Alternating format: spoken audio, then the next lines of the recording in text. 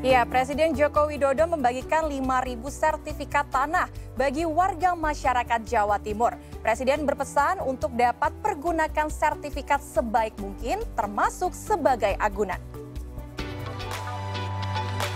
Presiden Joko Widodo memberikan sertifikat program tanah sistematis lengkap atau PTSL dan redistribusi tanah secara simbolis kepada 12 orang perwakilan warga Jawa Timur.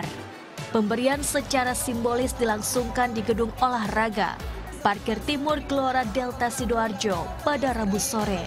Dari total 5.000 sertifikat yang dibagikan, 3.020 sertifikat di antaranya merupakan hasil program tanah sistematis lengkap, 800 sertifikat redistribusi tanah, hasil dari pelepasan kawasan hutan, eks perkebunan, dan tanah negara, dan seribu sertifikat lainnya merupakan sertifikat tanah wakaf.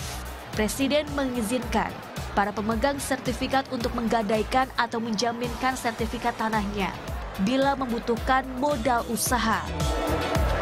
Yang ingin sertifikat ini disekolahkan, silahkan